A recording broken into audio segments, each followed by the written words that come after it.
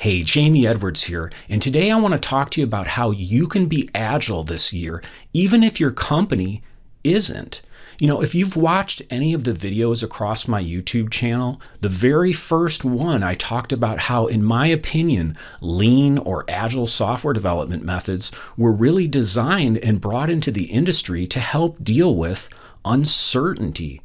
Now, why is uncertainty something that's so important? I've got a whole video on that as well, but it's really because no matter how good of a software development team you have, or how sure the data tells you that your product's going to be successful in the market, or how much you might think you have a handle around a problem that your customer needs, there's always something that can come along and completely derail your efforts. So, the better a company can get, or you can get at being able to cope with uncertainty, the better chance that you're going to really build the best thing you can build despite changes happening. And it's really interesting that over the 20 plus years that I've developed software and I've worked for a lot of different companies, especially as a consultant, I've found that really your success in your career is going to depend a lot on the culture of the company you work at.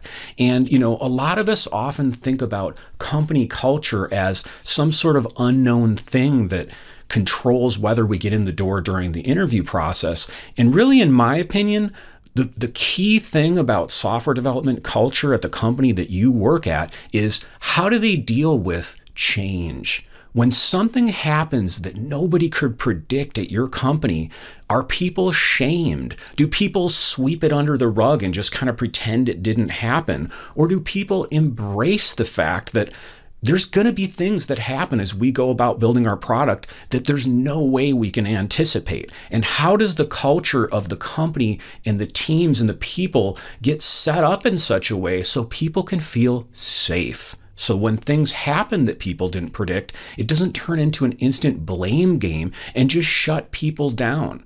So one of the things I want to really help people with this year in 2018, and one of the things you'll notice is I kind of changed my setup here. So I'm kind of getting used to this. I, have got this set up so that I can do more live streaming, and I'm also going to hopefully have some guests this year. But what I really want to help you with this year is developing a mindset. So even if you work at a software company where there's still this illusion of control, people think that they can plan everything out, that they can pick the perfect architecture, and that they aren't going to have anything happen that makes them maybe look like, you know what? I didn't think that was going to happen. Is for you to have a mindset where you embrace uncertainty. And this is something that nobody in my entire career has really helped me with. Uh, however, I can tell you that there's something that happened to me last year that I think may resonate with some of you that if you're somebody out there who's really stressed out in your career and you've been maybe developing software for 5, 10, 15 years, you're upset about it, this story of what I went through last year, I, I, hope that it helps you see that there are ways for you to be happy about developing software again and for you to not let, you know, external circumstances like the way that your company treats you or the way that maybe the culture shifts derail you from being healthy about how you develop software. So Last year in April, I was working for a consulting agency that I worked for for over 10 years, and I essentially had a nervous breakdown. I, I, mean, I didn't go to a doctor and get diagnosed as having a nervous breakdown, but I had about three straight weeks where I wasn't sleeping. I mean, I was sleeping two to three hours a night. And I don't know if you've ever watched any documentaries out there on sleep deprivation. You know, some military organizations use this to punish people people. They basically don't let them sleep as a way to control them or break their psyche down.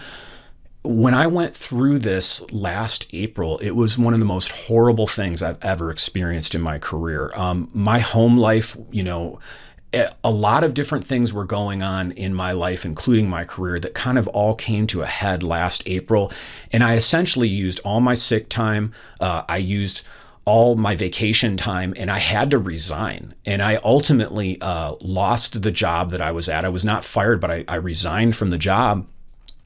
And I spent eight months after that, you know, trying to get better. And uh, yes, there was an eight month period last year where I didn't really work for anybody else. I, I really just worked on myself. Now, that might sound extreme and it did cost me some money and it was something that really you know scared me a lot. I had to deal with coping with uncertainty a lot and i'm still dealing with it to this day. But what I want to share with you and, and where I want to hopefully connect with you is that, you know, one of the things that happened, I think, that caused me not to sleep, I actually went and got a sleep study done. I saw multiple different doctors trying to figure out why wasn't I sleeping? You know, I would literally fall asleep and then the moment my eyes would close and I would get to the point where I drift off, I'd just wake right back up. It was like something was screwed up with my nervous system. Well, I did have you know, some dietary things that I've been working on for years. I'm I'm a little older. I'm 41 and I'm still trying to take care of myself from some of the stupid decisions I made, you know, earlier in my life. But the the big thing that I really found was the root of the issue was it was a psychological issue. It was that, you know, I had spent 20 years over my career, you know, trying to make software companies work better. And no matter how many books I read and how much I learned about how to influence people, and this is some of the things I, I do teach on my YouTube channel, and no matter how much I tried to build bridges with people or learn the right technology, it seemed like I'd always hit these brick walls and I'd always get put into these situations where the company I worked for was asking me to do things that just were, in my opinion, ridiculous and not achievable. And when that would happen, you know, I would try to somewhat stick up for myself, but you know, because I, I have a family and I have three kids, uh, you know, and, and and I have a lot of responsibility to them. I would often, I think, let these companies push me around too much because of this fear that, you know, oh, it's going to be harder for me to find another job, or, you know, I don't have the energy or the time right now to find the right fit. So I'll just put up with this for a little while. And, you know, earlier in my career, I actually did a few videos uh, on my YouTube channel about my software development journey where I talk kind of at a high level, not so much about my personal life, but more about just my career.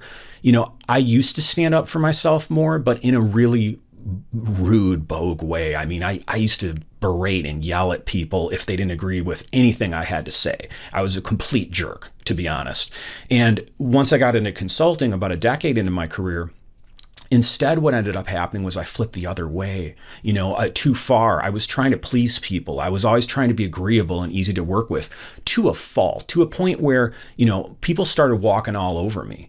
So, you know, I spent, again, this last eight months really learning about digital marketing, connecting with a lot of people, just taking some time to heal. And it really reset my mindset about my career. And, you know, what I really want to do at this point in my career and where I think I have the highest value is, you know, having tried to convince businesses for so many years to do agile and lean methods better and, you know, bring in continuous delivery and bring in DevOps and all the different things that everybody's excited about, you know, technology wise and process wise in the industry. Often I'm just finding no matter how much they say they want to do it, no matter how much money they spend on it, they, they really don't support it fully because what it really means is they have to give up more power. And ultimately, you know, you can look at political you know landscapes of different company different countries you know the United States where I live or or many other countries. You know you can look at even family dynamics or you know lots of different groups of people. Uh, when people are in positions of leadership or power it takes somebody who's really mature to lead people and not boss them around. And unfortunately most companies you know and this has just been in my experience working with over 30 different companies over my career there are very few leaders out there that really have the emotional intelligence and the maturity to do that. So instead, what ends up happening is if there's a leader in place and they look at it like, you know, I'm I'm the shit. I know everything.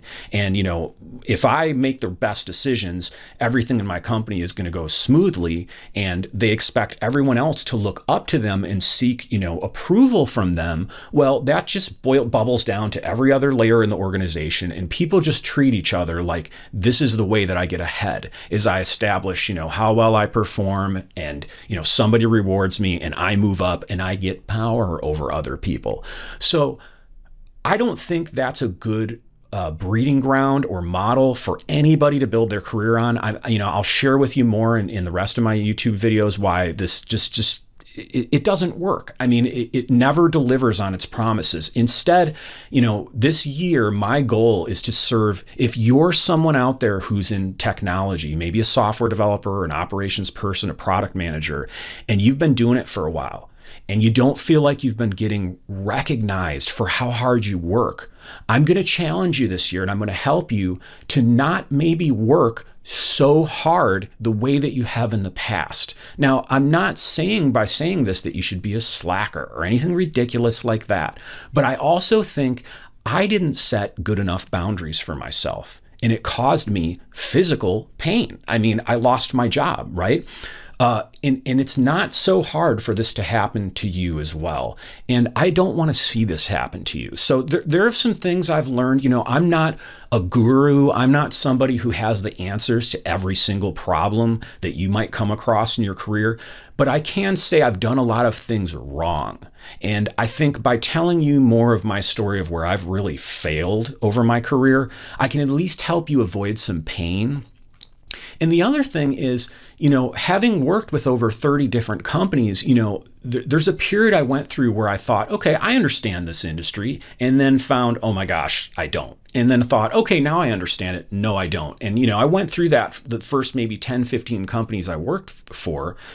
And you get to a point where you really realize there are some serious patterns in the IT or tech industry just around how people treat each other.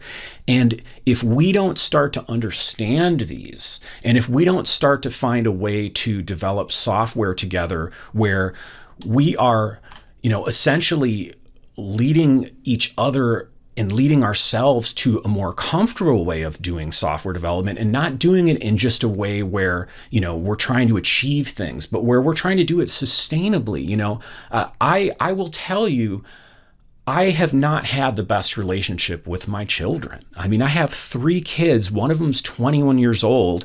You know, all, all my kids, well, two of them are, are you know, adults, young adults at this point. The other, my daughter is a little younger.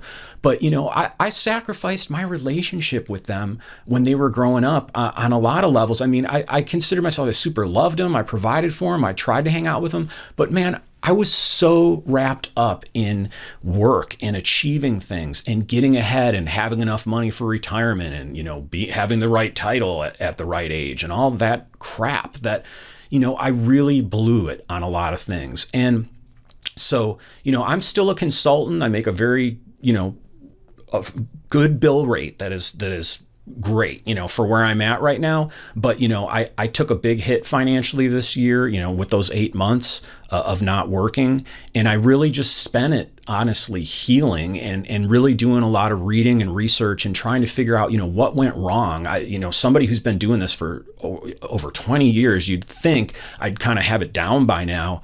Um, I've learned so many things, but, you know, I really learned that the, the biggest problem was I was trying to control things that I just couldn't. And I was trying to go about my career like I could, you know, uh, create this sort of pocket of certainty around me where things wouldn't happen to disrupt me. And it was all because it was learned behavior after working in corporate America for so many years. So, you know, coming back around, and I know I'm rambling a little bit, you know, some of these videos uh, that I'm going to be doing this year I'm going to try to challenge myself a little bit to be a little less structured. My my videos I've done before, I like them. You know, they're how to more of how to videos. I'm still going to do those and I think that they offer you some value, but I want to try to do more kind of one-on-one me and you talking types of videos so that we can really get to know each other better. And hopefully you'll engage with me more and, and share some of these videos with maybe other people that you know that are also suffering or stressed out in their careers. And I really want to, you know, as somebody who has been trying to help companies do digital transformation or agile development for so many years, most of you out there know what agile development takes. And because you've been on a team that's done it right once. And and from you know that point on you've if you're like me you've worked for other companies that haven't done that. And you've just been trying to get back to a good psychologically safe exciting innovative good culture to do agile software development. And so you know I'll continue to talk about really good methods that I know are going to help you for developing software and processes you can use. But I think the biggest value that I can offer to you that maybe other people out there, you know, in social media aren't doing quite as much is I want to offer to you some really big insights I've had about just people and humanity and how you know the behavior and the psychology of humans impacts software development. And again not from i'm some sort of expert or guru but i do think i can really offer you value that's going to make it so that as you're continuing moving forward in your career you don't sacrifice your relationships with your family. You don't set yourself up for just unrealistic unmet expectations where you get to the point where you're like a lot of software professionals i come across that are just jaded and they basically look at it like, you know, my career is over at this point. So stick with me this year. I, I am committing to you that I'm going to start doing these videos more often. I want to share more of really my thoughts, not just around where, you know, I can share things with you that I think are going to help you, but also where I'm struggling. You know, I am actually trying to do a better job myself of not burning myself out. And I'm trying to heal from what I went through uh, last April. And I'm also trying to change the industry in a way where hopefully if we can get a loud enough chorus of people who are actually doing the work the engineers the product managers you know the testers the support people the people on the ground that actually make companies operate if we can get enough of those people to understand what it what is it about software development that seems so hard and so different from other industries. And and then there's, you know, enough momentum behind that. I think at some point the leadership will have to take notice because they'll start to understand how they're really setting themselves up for failure if they don't just start to create safer environments where people can be more successful and just feel more safe.